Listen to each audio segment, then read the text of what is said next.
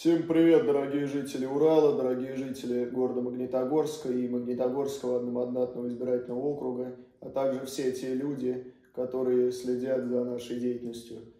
Сегодня хотелось бы представить вам кандидата в депутаты Государственной Думы по Магнитогорскому одномандатному избирательному округу э, Рустамова Эльмара. 19 сентября состоится, в вашем регионе состоятся выборы. Э, хотелось бы максимально вашу поддержку, максимально вашу активность.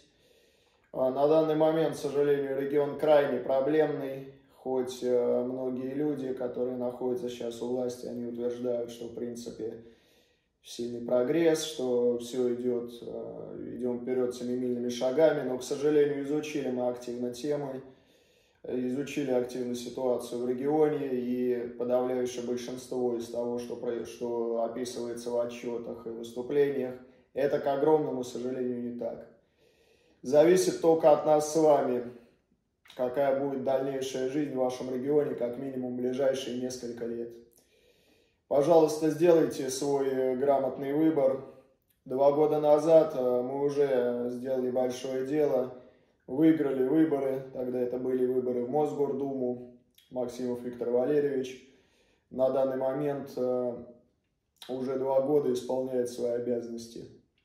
Хотелось бы представить, э, также кандидата я вам представил, а также моего близкого друга Николая Владимировича Гуськова, который вам известен по своим стихозлотворениям, которые активно публикуются на его канале, а также на нескольких других каналах и дать ему пару слов.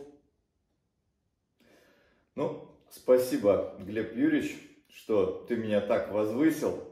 Здравствуйте, дорогие магнитогорцы, здравствуйте, товарищи. Значит, я не уверен, к сожалению, в отличие от Глеба, что мое говно творчество хорошо известно в вашем городе, хотя с удовольствием и, разумеется, совершенно бесплатно с вами им поделюсь, но сейчас хотелось бы сказать не об этом и не в стихах, а в прозе. Вы, наверное, думаете, вот зачем нам вот этот вот заезжий варяг из Москвы и так далее. Глеб тоже москвич, но я не москвич по рождению. Я из такого же сурового края, как вы, а в чем-то может быть и суровее. Я архангелогородец, если вам о чем-то это говорит, о чем-то. То есть из славного города Архангельска, из столицы русского севера.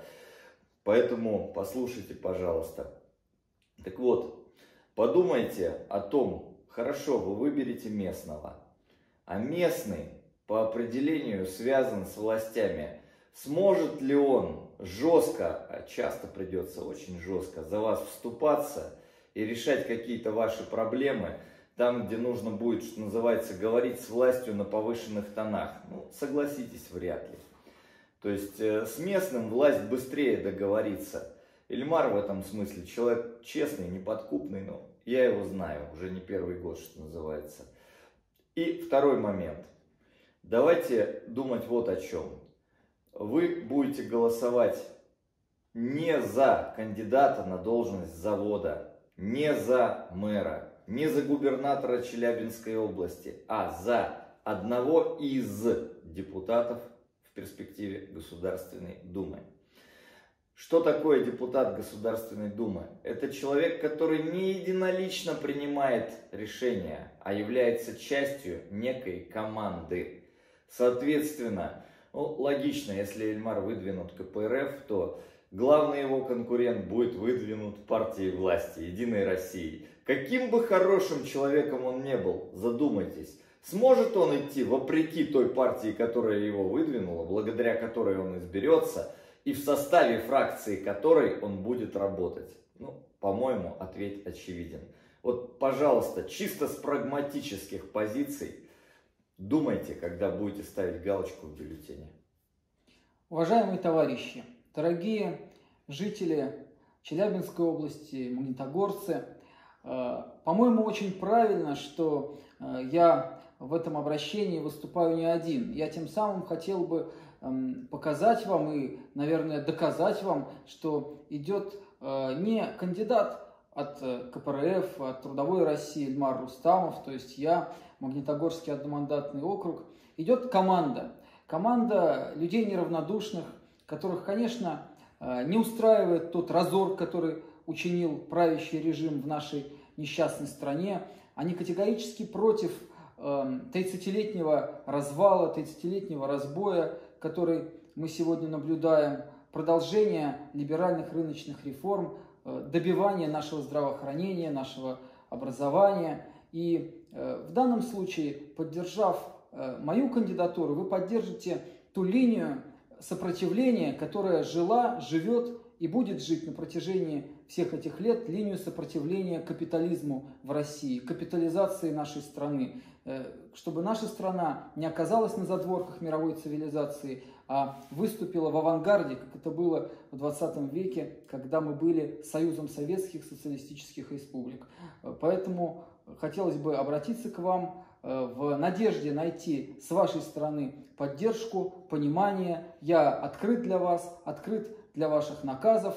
Команда КПРФ, Трудовой России и всех неравнодушных коммунистов и беспартийных ждет вашей поддержки и вашего понимающего слова. Друзья, хотелось бы добавить, что мы с вами 24 на 7. Э, все свои контакты, я ни от кого не скрываюсь абсолютно. Соцсети, Инстаграмы, и Viber, номер телефона. Все есть в открытом доступе 24 на 7. Вы можете со мной лично связаться. Спасибо вам огромное за просмотр. И, пожалуйста, если у вас есть хоть немножко времени, проанализируйте нашу деятельность, проанализируйте те выборы, которые были. Люди обычно все видят. Э, видят, кто много болтает, кто делает, кто и болтает, и делает. По крайней мере, основное, чтобы результат был. И чтобы э, тот бардак, в принципе, и тот проблемный действительно регион, он хоть немножко процветал. И вот эту вот программу, которую э, обычно пишут перед каждыми выборами, я не говорю сейчас конкретно о Единой России, это касается абсолютно подавляющего большинства партий и кандидатов. Экологию, которую там обещали у вас наладить, и продолжает он оставаться в десятке, если не в пятерке самых загазованных регионов России. Цены на жилье, которые растут, непонятно почему, хотя работу на металлургическом комбинате, в принципе, вакансии сокращают и так далее, и так далее, и так далее.